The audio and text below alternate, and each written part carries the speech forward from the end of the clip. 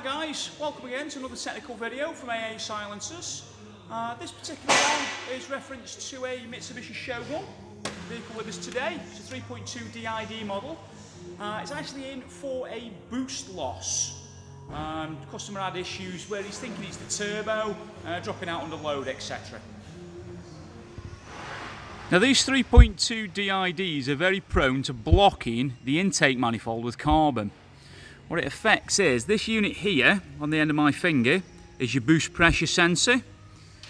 And as you can see, it goes down on a hose and then onto a metal section of pipe down the back, which goes through a port into the intake manifold. And they just simply block.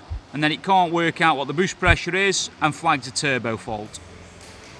Now once we've got the covers off, one of the first things we have to take off is the EGR valve. Now this looks relatively new, but in fairness, we've cleaned it up anyway with the Tunap 926. There's no point putting that back dirty, is there? We're now at a stage where we've stripped off the EGR, the throttle, and we've uh, actually taken off the, the upper section of intake. And this gives you an idea of the sort of state that we're into.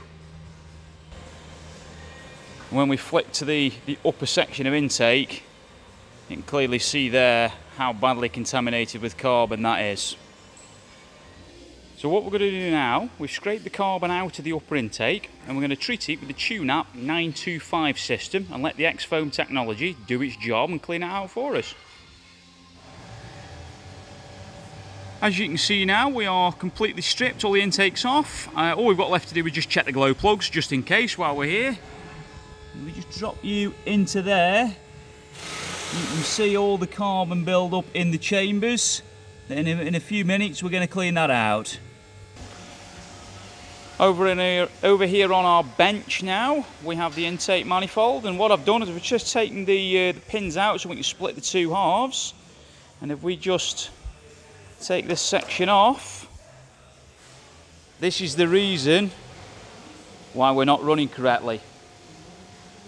That little piece there is where your boost pressure sensor goes onto, and the back end is completely blocked no way on earth that can run correctly.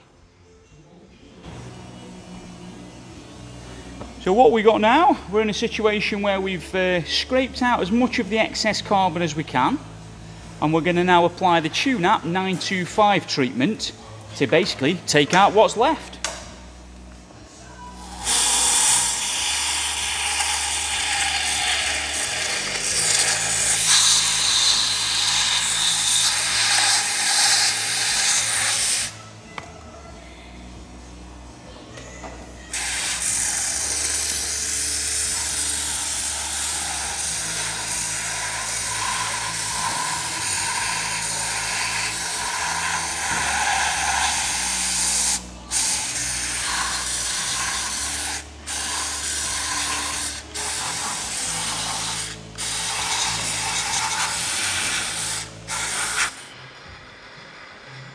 And these are the results. Now we're all cleaned out.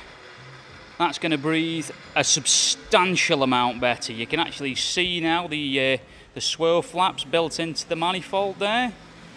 Um, as well as obviously where the boost pressure unit comes out you can actually see now that uh, that goes straight through into the manifold. We've got a full set of genuine Mitsubishi gaskets. We'll get this rebuilt, get the codes cleared and get it, get it up the road. Make sure it's all good for the customer.